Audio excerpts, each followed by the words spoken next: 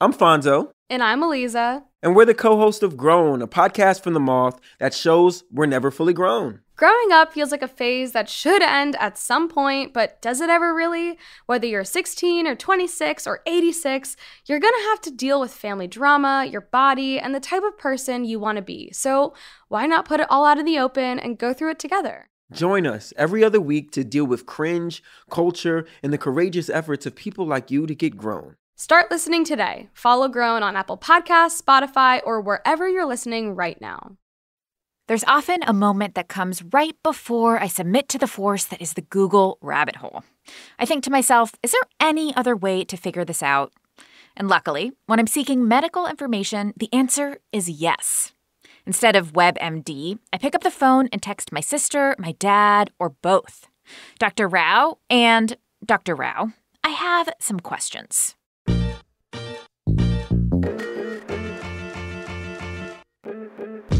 So, when an email came into the embodied inbox asking us to do a show on circumcision, the first step in my research was a conversation with my sister. Between her professional work as a pediatrician and the fact that she's the mother to a four year old boy, I was certain she'd give me the rundown. Apparently, my brother in law had the same thought. The decision to circumcise was an introduction to parenting before we were even parents. I remember hoping that my wife, a pediatrician, would have the correct answer, or that there would be a medically correct answer, but I realized there wasn't one, and ultimately the decision was a personal one, and just the first of many that we as parents have to make to the best of our ability. That's Amit Gupta. I'm Anita Rao, and this is Embodied, our show about sex, relationships, and your health. Circumcision is the most common surgical procedure for people assigned male at birth in the U.S. Infant circumcision is more common in this country than many places around the world and done for a wide variety of reasons. But if you're a parent feeling unsure about this decision, where do you turn? If you start on the internet, you'll quickly find yourself twisted into a pretzel. Because while information is abundant, clarity is not. We have to accept the fact that circumcision is both a cultural decision and has a medical component. You cannot fully disentangle those issues completely. I will say, as a medical professional, I try to be as open and honest as possible about what we know and what we don't know. A medical professional that has no trouble being upfront about the unknowns. That is our kind of person. Dr. Emilie K. Johnson is an associate professor of urology at Northwestern University. She's done a lot of research into neonatal circumcision around the country and tracked the evolving thinking around the procedure over time. While circumcision rates in the US are much higher than a lot of other industrialized countries, they've been declining since the 1970s historically the circumcision rates in the United States have been high, I think mostly for cultural reasons. And now we see huge variability by the region of the United States, the ethnic and cultural background of the family. And I think some of the decline that we're seeing over time really reflects the changing demographics of the United States. Additionally, there are some changes that we're seeing due to more education about the procedure itself. For many years, I think in some families, there was just the assumption that if a boy was born, this would be part of the routine after the child arrived. And there are some parents that are questioning that dogma and doing more talking and listening and contemplating before sort of having it be an automatic decision for circumcision to be performed.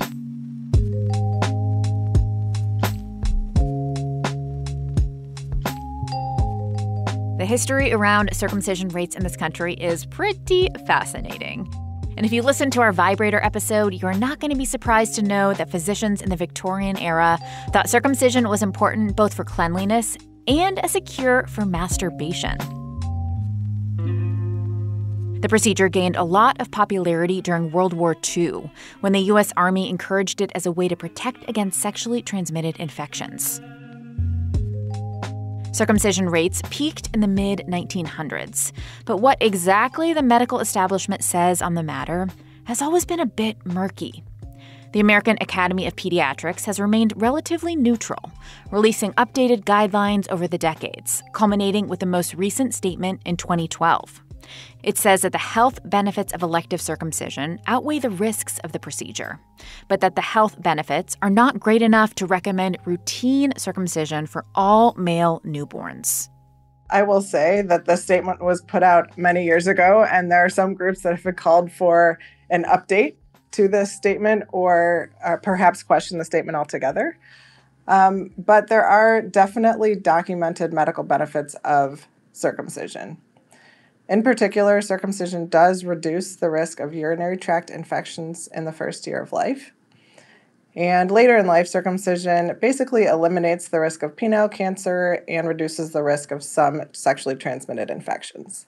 So, you've said that some folks have asked for an update. Why is that? Is there new research that's come out since that statement that has changed the calculus a little bit? I think there's some new research that has come out. And also, there are folks that feel that the medical benefits are not strong enough or that the research has not been best contextualized within the sort of um, risk rates in the United States to be fully applicable. For example, a lot of the studies done on HIV risk were actually not performed in the United States. So the data presented in studies may not be totally applicable to the United States context. Got it. So if someone comes to their pediatrician, they can get that kind of general outline of the medical information, but the pediatrician is going to say, ultimately, I can't weigh in heavily one way or the other. This is your decision. I would say typically that's very true. You know, we present the risks and benefits and any specific information that we might know that would be applicable to that child. But yes, ultimately, the decision to perform a circumcision in the newborn period is really up to the parents. So, as a physician and researcher, you have paid really close attention to um, particular health trends around the country, including how accessible neonatal circumcision is. And you've documented some emerging healthcare disparities. I'd love for you to take us into those and what you found. Sure. So, in my early days as an attending here in Chicago, I noticed that in some of my clinics, there would be a group of patients coming in, usually six months of age to about two years of age, whose parents wanted them to have a newborn circumcision, but for some reason they were unable to have their child circumcised in the desired time period. And when that happens, typically that means if the family still wants a circumcision, it's a surgical procedure under general anesthesia rather than a procedure done under local anesthesia in the hospital or in the clinic. And the short story is that certain hospitals just have a difficult time with capacity and also patients who are publicly insured and often who are Black or African American tend to have a harder time accessing newborn circumcision procedures. Um, what we've found over the years is there's probably a lot of reasons for this, including insurance reimbursement, resources of the hospital, but it tends to be folks who are having trouble accessing healthcare in general who also have trouble accessing this procedure at times. What are the particular concerns you have for parents who do want neonatal circumcision? They don't have access to it. What does that mean for their kids and their health? Most importantly, I think there is a health benefit of circumcision. And if the family knows that they want this procedure, yet there's a delay, the child doesn't receive as much of the medical benefit because, for example, the reduction in urinary tract infection risk is really most dramatic in the first year of life. Um, I also worry because it's a burden on the family. There are multiple visits. The child has anesthesia, general anesthesia, when they otherwise wouldn't. And it's more of a burden on the healthcare system. I'd love to end with you on, I guess, stepping out one more layer and talking about this topic of circumcision. I mean, as we've referenced throughout the show, it has become increasingly controversial, increasingly heated. And I'm wondering how that has informed your work as a provider as a pediatric urologist, I would say I have a relatively neutral view of the procedure, except for when it comes to you know children with very specific urologic issues. And so I really see my role as providing information, providing a safe, high quality procedure if together the family and I have decided that this is the right procedure for their child. And doing the health services research and healthcare delivery research to make sure that we are performing this procedure in the best, most equitable way possible for children in the United States.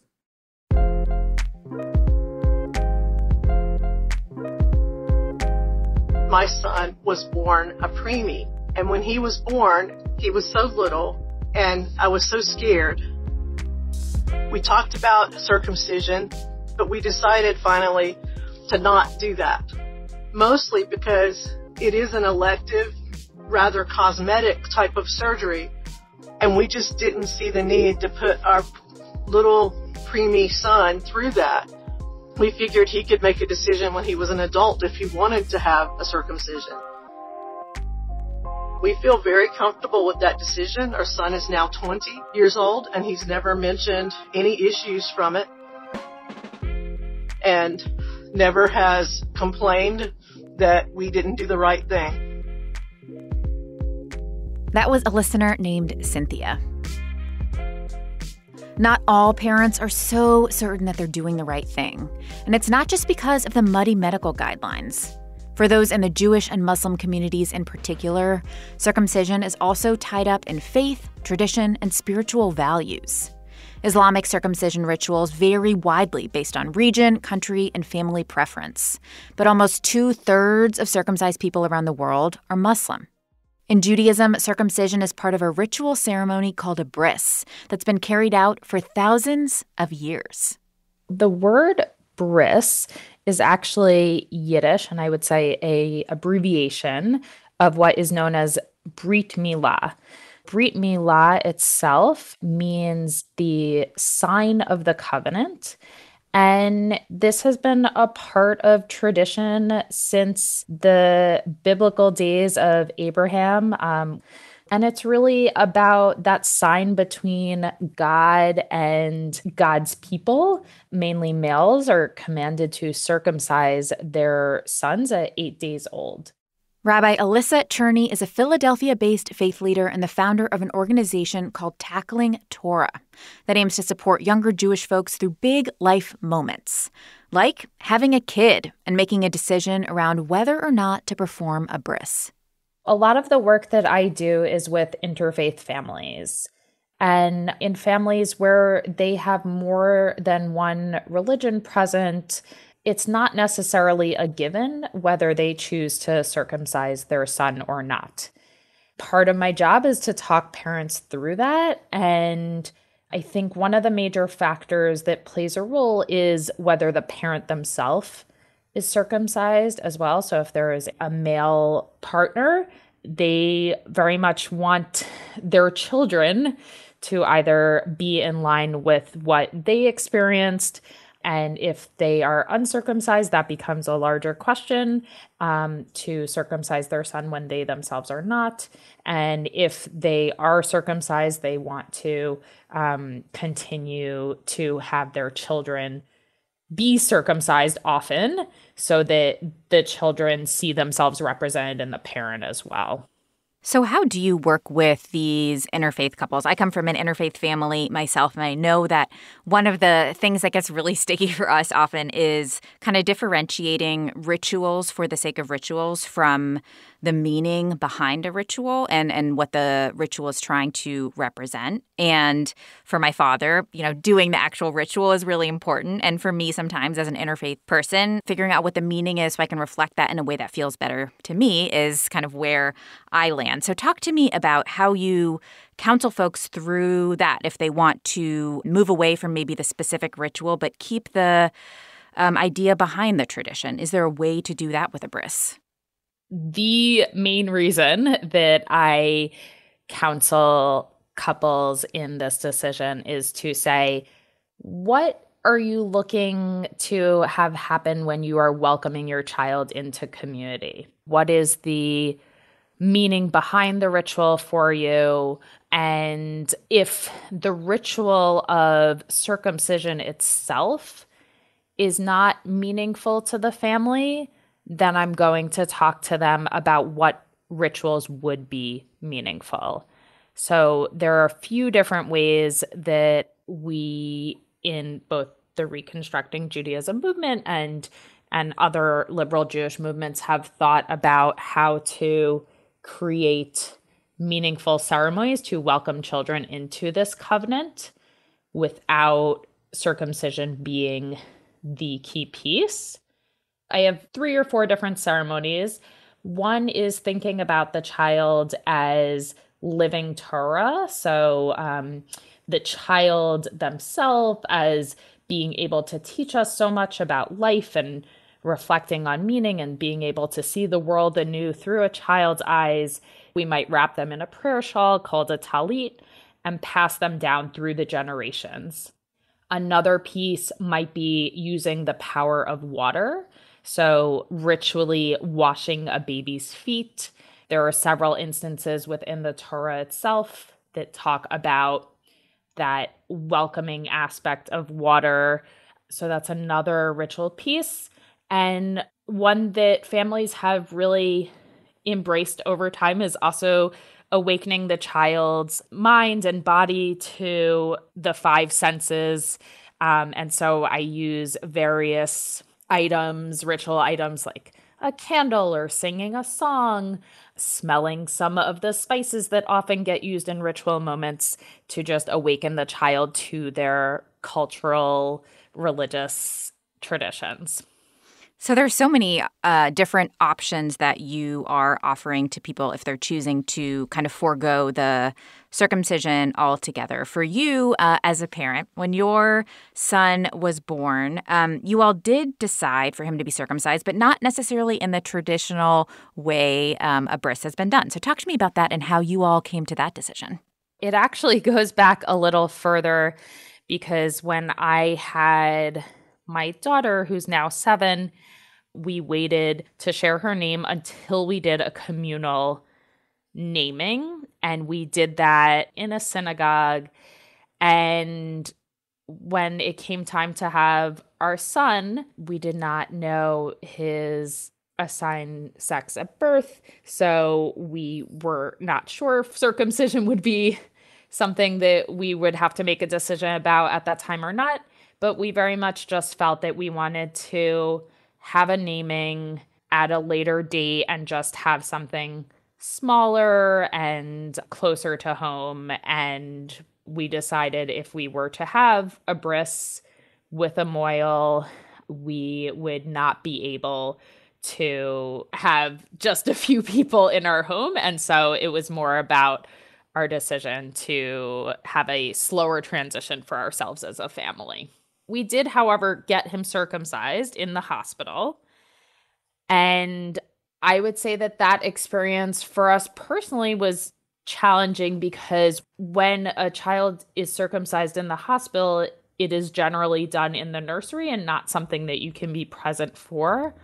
And a lot of the traditional pieces, you're with your child when the circumcision is happening. And that just feels emotionally different for new parents to be present or not present for a medical procedure that's happening.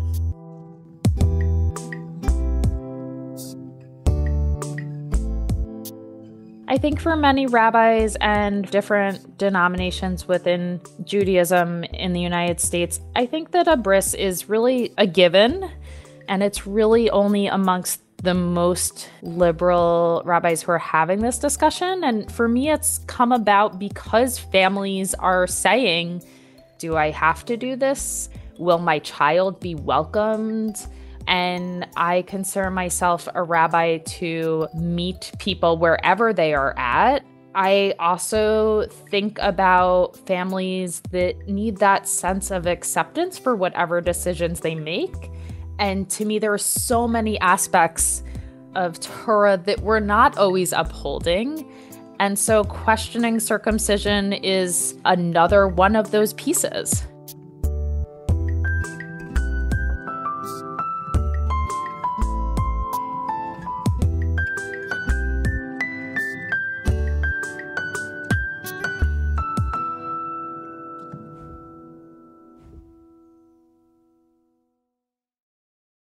We read the research, and the risks and the benefits both seemed really insignificant. And when you remove those, it turns it into basically a cosmetic surgery. And because I'm circumcised, the question becomes do we want his penis to look like mine? The more I ask myself that question, the sillier it felt to have an irreversible surgery done on a day old infant to make his penis look like mine. I know that there are protective elements to getting a circumcision, But the current research suggests that that protection is very insignificant. It just doesn't seem worth it. And I know that there are a lot of men who were circumcised who wish that they hadn't been. I wanted to give my son the opportunity to make that decision himself. I think it's a lot more difficult to go back once you've been circumcised than working the other way around. I found it was really hard to find clear science backed information that was recent and relevant and wasn't, you know, dripping with medical bias. So finally, I punted the decision to my husband and told him I would go along with whatever he decided. And um, his thinking was that he didn't know any guys who were angry at their parents for deciding to circumcise. But he also knew a couple of guys who wished their parents had done the procedure when they were newborns.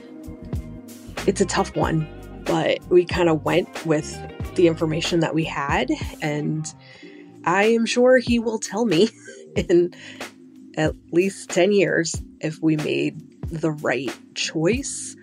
And hopefully he'll understand. That's Eric, an apparent in Johnston County, North Carolina. As I said at the very top of this show, the whole reason we decided to take this topic on in the first place was that we got a note from a listener who was curious about what people consider when making the circumcision decision. So when our producer Kaya came across an article in her research called To Circumcise or to Not Circumcise, a New Father's Question, she had to follow up. Some of the feedback I got on Twitter when I posted the article was calling me out for that. Like, you're not even a real man, you know, if you're if you're worried about, you know, your son looking like you in, terms of like the, the shape of your penis. Chris Silva is a father that was bold enough to write about his circumcision decision reflections in the New York Times. It has been seven years since that piece came out, and in it he laid out the twists and turns in his and his wife's decision making. Their story started with an emergency C section at 27 weeks of pregnancy. His son was a surviving twin, and for the first few months of parenting, all focus was just on making sure he was growing and healthy. After a long stay at the NICU, he was transferred to the Children's Hospital, and that was the first time the question of circumcision came up they were talking about doing a, a, hernia surgery. And they said hey look when we go in for the hernia surgery we can also do the circumcision. You know we can do it a, a two for one and you know give it some thought. And so without really thinking twice about it i was like sure let's do it. As it turned out he went into the surgery. They were successful with the hernia surgery but they came out and they said hey look you know because of his size and, and his prematurity you know we thought about doing it but you know let's make this an outpatient thing if it's something you still want to go through with so you got the information that your son was too small to circumcise, and it gave you some extra time to think about the decision. And you ended up having a conversation with a friend that really changed your thinking on the subject. Talk to me about that conversation and what changed for you. So I was talking to a friend, um, my friend Brooks at the time, and just the topic of baptism came up. I don't even know how. And I just remember talking about how strongly I felt that, you know, I was not going to baptize my son. You know, I had been baptized, Catholic school for 12 years, not really a practicing Catholic. I like to say recovering Catholic. And you know, he's like, "Hey, that that all sounds good. Um, you know, what else is going on?" I'm like, "Oh, well, then there's a circumcision thing." And and he's like, "Well, so what's your thoughts on that?" And and I'm like, "Well, you know, I'm going to have him circumcised. It was done to me." And he's like, "Okay, well, you're not going to have the holy water sprinkled on his head, but you'll easily just let someone, you know, snip his penis essentially." and um, yeah. And the way he put it, I was like, oh, wow. I have not thought this through at all. Meanwhile, you know, my wife was the one who did have reservations. When the hernia surgery was a success and they said you can go back in for outpatient, she was the one who raised the alarm of like, ah, I don't know about this, but like, I'll still leave it in your hands. So it was only really then that I thought, man, do I really want to go through with this? And it kind of set us off down the the research path. So you went on this path of discovery, kind of trying to figure out, okay, what are my reasons? Why do I feel strongly about this? And some of the things that you wrote about in your piece are things that we've heard echoed by a lot of parents, including what does it mean for my son to have a penis that doesn't look like mine? Yep. What was that worry for you? And, and why do you feel like that was such a sticking point? Man, you know, it's funny because looking back on that, I shake my head. I'm like, wow, I was an incredibly, I guess it was a self conscious um, belief or, or, or thing to be going through at that time just to be worried that hey he's not going to look like me you know down there. And that's really what it was. It was as basic as that. And i mean I, I guess i could say it was a little shallow right? Like i mean what really is it to just have privates that look the same as my son? I mean that's all there was to it. And again i didn't go deep deep down the rabbit hole of medical research but just enough right? I'd spoken to a pediatrician and had done some some googling just to see. I mean the data was like it just wasn't that significant in terms of like the reasons for or against and you take that coupled with you know the fact that my wife was having these second thoughts and just like and back to my conversation with my friend i'm like well what's what's really the point here? It, it, it kind of is just like a cosmetic thing and we just ultimately decided that he's born the way he's born let's just like leave it be right? Like why change anything so you obviously you came in with strong convictions. You were beginning to sift through that and questioning like, oh, maybe uh, I don't feel as strongly as I thought I did, or I don't know why I did. Is there a resource that you wish you'd had access to, or a person or or people that you felt like you wish you could hear their perspective? Yes. I mean, I do wish that I had other very close dad friends in my life at that point. I think I had many single guy friends or friends who were married but not with kids. Someone who I could really talk this through with, that would have been helpful. I honestly don't know if another piece of research would have done anything. I think at that point, it's like, you know, you read a couple of reports, they all sound the same. But it, it would have been nice to like be able to just like get real with with like another dad who you're comfortable with to talk this stuff through with, you know? Totally. The rabbi we spoke to earlier was saying that so many parents just want to feel like the decision they make is okay. So even just having, you know, someone to reflect that back to you or share in that experience seems so important to people. And I'm curious about as you kind of went forward, you all made that decision and you began to raise your son. Were there things that you thought about to prepare your son for interacting with his body that are informed by him not being circumcised and you knowing the experience only of being circumcised? Yes. I, well, really only in terms of just like general hygiene, like caring for it, really. And that's the only thing I really have gotten to so far. You know, he's eight years old right now. The topics maybe came up once or twice in that time with him. And so, yeah, outside of uh, hygiene, there, there really hasn't been any other consideration or thought on my end. How has the topic come up between y'all? Yeah, it's funny. It didn't come up directly with me. This was something that happened with him and my wife, and it happened during bath time. I believe he was probably around maybe five years old. And, you know, she just likes to remind him, hey, remember, you know, like make sure we we rinse and gently wash your your penis. And she used to call it like the penis pocket, right? Like you've got the pocket, you gotta, gotta take care of it. And and you know, for a five year old kid, it sticks, right? So he remembers that that's that's what it is. And truthfully, I don't recall if it was my son or my wife who brought it up, but somehow, like, well, dad's penis looks different, right? And I believe it was my son. And I think my wife asked, Well, do you know why that is? And she went on to just like plainly explain to him, Well, there was a surgery that your dad had when he was a, a baby, and it's called circumcision, and they cut part of his penis. So he doesn't have a pocket. Dad doesn't have a penis pocket. And, you know, my son's response was, was that of shock from what my wife told me. Um, I'm not sure if there's any horror involved there, but I think he was more so curious about like, well, what did they do with it? Like, what did they do with that piece of skin? exactly. And I'm like, of course, that's totally the mind of a five year old. And I think my wife was just like, well, they, they they just discarded it. They just got rid of it. And I think that left him more floored than anything. Like they just cut skin and got rid of it. Like that's all. And so yeah, that's as far as it's really gone. But you know, I mean, we try to be an open family in terms of how we talk about our body and sexuality and things of that nature. I don't want to grow up with anyone having any type of uh, shame, right? Like that's something my wife and I are very adamant about. And so, I mean, he sees me in the bathroom, and really, it's never come up. What advice would you give to parents who are currently in in the thick of it, trying to figure out what way to go? What would you tell them? I would say don't do it alone. I would say find someone you can talk to, another parent. I think, you know, the internet is, there's no shortage of information to give you enough tools and research to make some type of informed decision. But really, it, it does come down to your gut. And I think, like, you know, find someone who's who's been there and done that, whether they've decided to circumcise their son or not. You know, it's good to bounce it off of other people. And it's probably the biggest thing I wish I did back then. Do you have a guiding motto for yourself as a parent when you're coming up against these decisions where there's not really a right answer, but you want to feel like it's okay to land where you land? Is there something that you keep coming back to? That it's not about me, right? Like, if I can put my fears and my biases aside, I can remind myself that whatever choice we do, we're making on behalf of our children. And are you going to feel confident and comfortable with the decision you make, knowing that in 5, 10, 15, 20 years, uh, you might get some questions about it? So I would say it's like, how can you put your own biases aside, right? And, and put what's best for the kid kind of top of mind, I would say.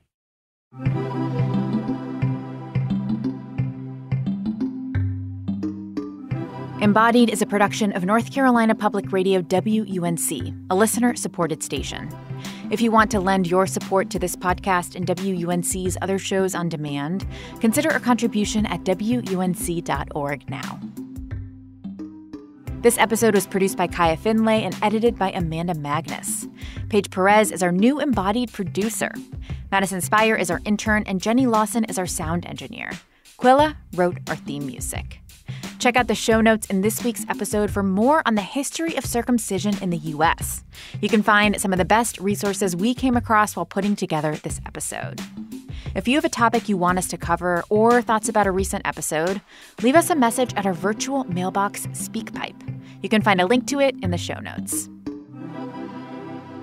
Until next time, I'm Anita Rao, taking on the taboo with you.